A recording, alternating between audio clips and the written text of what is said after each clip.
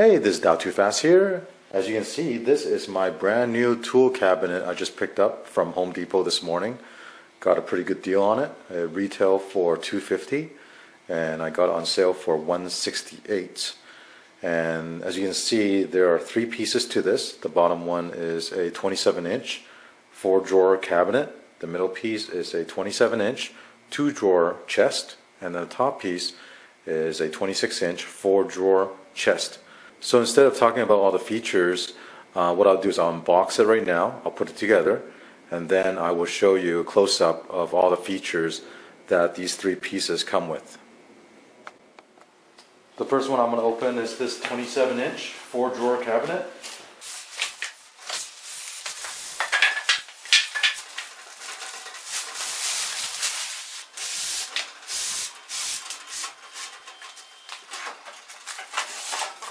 So in the box, we have four caster wheels. Two of them you can lock into position, two of them you don't. There's also a metal handle that you bolt onto the side. Here's a close-up look of the wheel. Together, these wheels can handle up to 600 pounds. So these are pretty beefy wheels.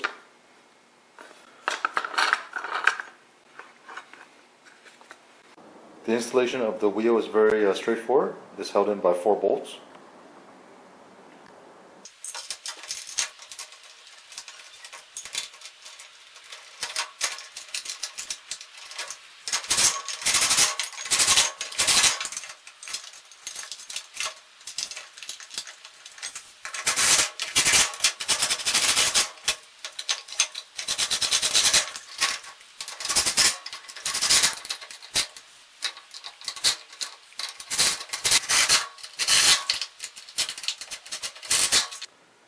Now I'm going to install the handle that goes on the side.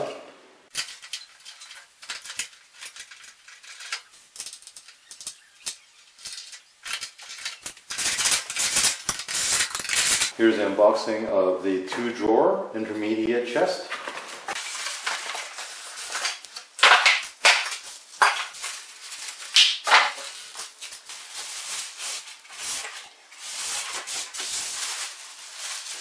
And here is the four drawer chest.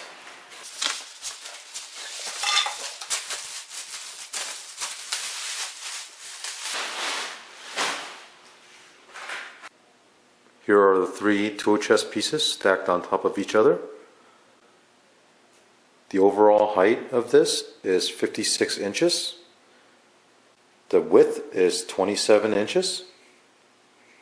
And the depth of the larger piece at the bottom is 18 inches.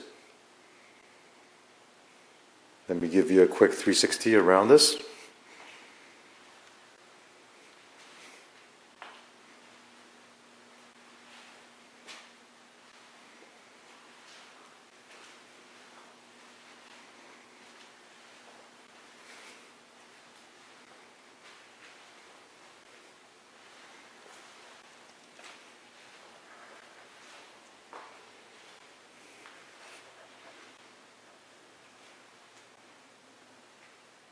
So let's talk a bit about this uh, tool chest and some of the features. So the brand is Husky, and Husky is a brand specifically made for Home Depot. This tool chest comes with a three-year warranty. The finish on this is a semi-gloss black, and the drawer has a satin silver front handle.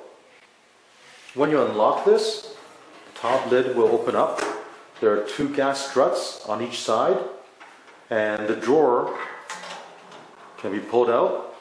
The side rail that's on this tool chest are ball bearing side rails and they're rated at 50 pounds. Each drawer is already lined with a foam material as you can see here. When you close the drawers and then close the top lid and you lock it, these drawers will be locked also. One thing to note is that each piece has its own key and they are keyed differently. If you look closely on the lock itself, they are stamped with a number that tells you which key goes with which one. So if you look over here, there is a stamp here for A16 and when you pull the key out, the key also has a stamping of A16. And the other lock on the other tool chest have a different number. So for example, this one is A17, so you can match the key to the lock.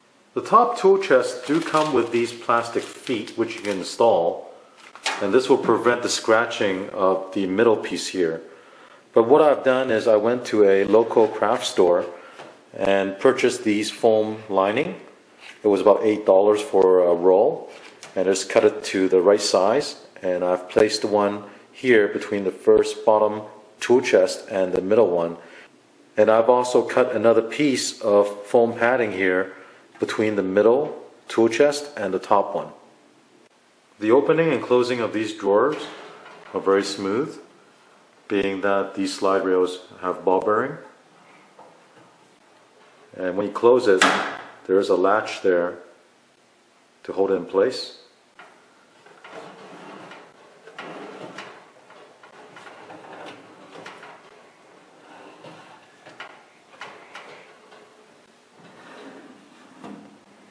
And these are the bottom drawers that are much deeper.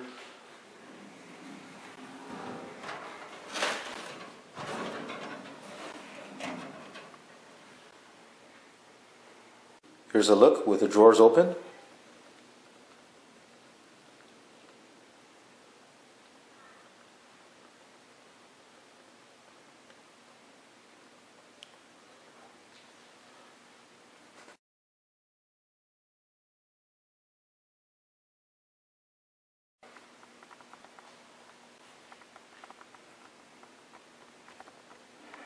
I think this is a great tool chest for the price I paid for it. I'm going to get a lot of good use out of it, put all my tools in here. But anyways, I thought I'd share this with you. And if you have any questions, leave a comment below. And if you like the video, please subscribe. Thank you.